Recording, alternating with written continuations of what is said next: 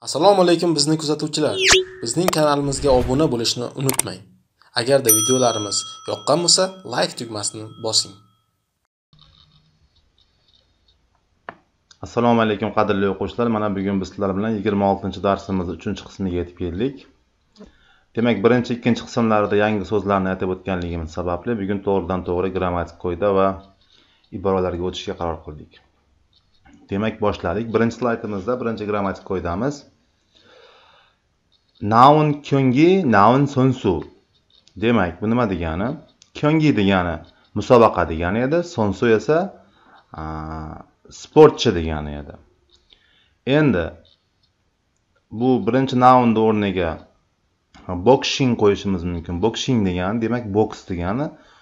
Boksing ko'ngi bo'lsa demak boks musobaqasi. Nongu kyongi bo'lsa demak basketbol musobaqasi. Chukku kyongi bo'lsa demak futbol musobaqasi degani. Endi keyingi so'zimizda esa sonsu degani sportchi degani. Lekin chukku chukku degani futbol degani edi. Chukku sonsu desa demak futbol sportchisi deb tarjima qilsak sal noto'g'riroq bo'ladi. Futbolchi deb tarjima qilsak bo'ladi o'zbek tiliga. Yoki boksing sonsu bo'lsa demak boks sportchisi emas boksyor yoki bokschi. Nongu sonsu demak basketbolist yoki basketbolchi deb tarjima qilsak bo'lar ekan demak. Demak birinchisiga nimanidir musobaqasi yoki keyingisiga nimanidir sportchisi ya'ni biror narsachi futbolchi bokschi tennischi basketbolchi va hokazo paytda ishlatiladigan sport sportchi degani ekan demak sonsu demak quyidagi gaplarni ko'rib o'tamiz oje knongu kyongi passayo kecha u basketbol musobaqasini ko'rdingizmi demak nongu kyongi degani demak basketbol musobaqasi ekan 한국 축구 선수 중에서 누구를 제일 좋아해요? demak koreya futbolchilari orasida chungeso degani chung degani ora degani. O'rta ora degani chungeso bo'lsa orasida yoki orasidan duguril dugu degani kim degani duguril esa kimni? Chayil degani eng degani eng yaxshi ko'rasiz. Demak koreya futbolchilari orasida kimni eng yaxshi ko'rasiz yoki ko'proq yaxshi ko'rasiz yoki yaxshiroq ko'proq yaxshi ko'rasiz degani demak bu yerda chukku sonsuv bo'lib kelyapti. Ya'ni futbolchi futbol sportchisi deyilmaydi ya'ni futbolchi deb tarjima qilyapmiz. Demak tushunarli keyingi gapimizda abojiga yaguk yongi ponungo chuvayo. Demak dadam beysbol musobaqasini ko'rishni yaxshi ko'radi. Demak tushunarli yaguk yongi bo'lsa beysbol musobaqasi degani demak ushbu slaydimiz tushunarli bo'ldi degan umiddamiz. Keyingi slaytımız esa chal tetta Çal tetta degan tetta degani bo'ldi degani. Chal tetta esa yaxshi bo'ldi. Yaxshi bo'ldi degan. Demak o'zbek tiliga to'g'ridan to'g'ri yoki yaxshi bo'pti degani. Demak quyidagi gaplarni ko'rib o'tamiz. Minsushiga tam tare körünül heo demak minsu kengi oyge turmush quradi. 그게 정말인가요? u rostdanmi yoki rost gapmi 참 잘 됐군요 judayam yaxshi bo'ptida deyapti demak tushunarli cham chaltekkunyo degani cham degani juda degani chaltetta degani demak yaxshi bo'lmoq degani kunyo esa hayratlangan payt cham chaltekkunyo demak judayam yaxshi bo'ptida degani demak tushunarli keyingi gapimizda 다음 주부터 방학이에요. keyingi haftadan boshlab kanikul yoki ta'til degani 잘 됐네요. yaxshi bo'ptiyu 저도 다음 주에 쉬는데 같이 여행 가요. yaxshi bo'ptiyu men ham keyingi haftadan dam olaman birga sayohatga boramiz demak tushunarli chaltenneyo chaltekkunyo va hokazo ushbu holatda yaxshi bo'pti yaxshi bo'ldi yaxshi bo'ptiyu degan ma'nolarni beryapti. Demak ushbu slaydimiz tushunarli bo'ldi. Keyingi slaydimiz esa antetta. Antetta degani o'zi so'zma so'z tarjima qilsak bo'lmadi degani yoki bo'lmabdi degani. Lekin biz unaqa demaymiz o'zbek tiliga tarjima qilganda yaxshi bo'lmabdi deb tarjima qilamiz. Demak quyidagi gaplarda ko'rib o'tamiz. Minyong shiga mani appayo. Minyong ancha og'riyapti yoki ancha kasal. Desa cham antenneyo unchalik yaxshi bo'lmabdi.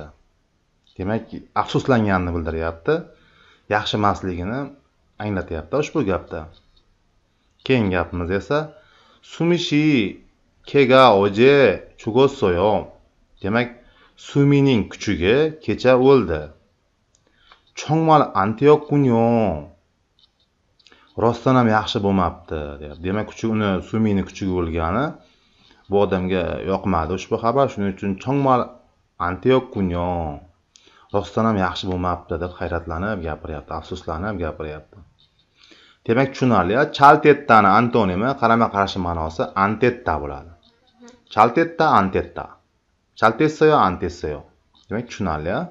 Chaltessoyo yaxshi bo'libdi antessoyo yaxshi bo'lmabdi degan.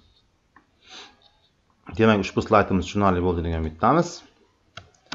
Keyingi slaydimiz esa shu yigirma oltinchi darsimizda o'tilgan grammatik qoida ibora va yangi so'zlar ishtirokida dialogimiz bor ya'ni suhbatimiz bor. Ushbu suhbatni o'qisak demak ushbu darsimizda o'tilgan barcha qoidalar yangi so'zlar va grammatik qoida iboralar yodimizga tushadi. Demak ushbu suhbatimizda cholsu va wilson cholsu koreys millatiga mansub bo'lgan ism wilson esa ingliz millatiga mansub bo'lgan ism. demak ikkalovi suhbat quradi demak demak suhbatni boshladik cholsu aytyapti shirin ko'ngil ponchogi 있어요 kurash musobaqasini ko'rganmisiz 표가 두 장 있는데 같이 갈까요? ikki dona bilet bor edi birga boraylikmi wilson aytyapti 텔레비전에서 경기하는 것을 봤는데 한번 구경하고 싶어요. televizorda musobaqalashayotganliklarini ko'rdim. Bir marta borib ko'rishni xohlayman deyapti uilson endi cholso aytyapti krom chaltenneyon unday bo'lsa yaxshi bo'libdi. Kachiporo gapshida birga ko'rgani tomosha qilgani boraylik chamshil cheyukuan esa kyongiga isoyo chamshil degani bu joyni nomi. Demak chamshil sport zalida musobaqa bor 난 거기가 어디 있는지 잘 모르겠는데요. 맨 위에 가열리기는 yaxshi bilmayman. 미리 만나서 가면 어떨까요? uchrashib borsak qanday bo'ladi cholsu aytyapti 좋아요 전조를 타고 종합운동장역까지 와요 demak metroga chiqib sport kompleksi bekatigacha keling piyo panin got apesa 기다릴게요 demak bilet sotadigan joy oldida kutaman wilson aytyapti 몇 시까지 가면 되죠? soat nechigacha borsam bo'ladi 철수 aytyapti 경기가 7시에 시작하니까 6시 30분에 만나기로 합시다 musobaqa soat yettida boshlanadigan bo'lgani uchun soat oltiyu o'ttiz daqiqada uchrashishga kelishaylik 알았어요. 그럼 이따 봐요. demak tushundim unda keyinroq ko'rishamiz demak tushunarli bo'ldi aziz o'quvchilar ushbu dialogimiz suhbatimiz Sizlarga uyga vazifa ushbu dialogni ikki uch bora ovozinglarni chiqarib o'qinglar. Shunda talaffuzinglarga yaxshi bo'ladi va grammatik qoida iboralar esga tushadi. Demak sizlarga uyga vazifa ushbu dialogni qayta qayta o'qish yangi so'zlarni yod olish grammatik qoida va iboralarni yod olish va ular ishtirokida turli xil gaplar tuzish. Shunda esinglarda yaxshi qoladi kimda qandaydir takliflar bo'lsa yoki biz tarafimizdan qo'yilgan xatoliklar bo'lsa kommentda qoldirishinglar mumkin. Biz albatta javob beramiz. Keyingi darslarda ko'rishguncha xayr sog' bo'ling omon bo'ling.